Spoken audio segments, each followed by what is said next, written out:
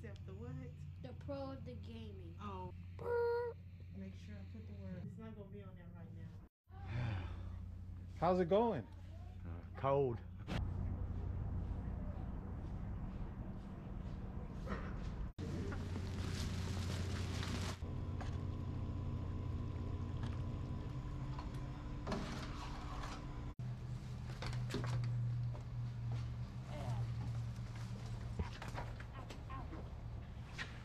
I just couldn't stay there any longer. It's freezing. It's a blackout, no electricity, and everything here is is lit up and it's nice and warm and cozy. And we're thankful for that.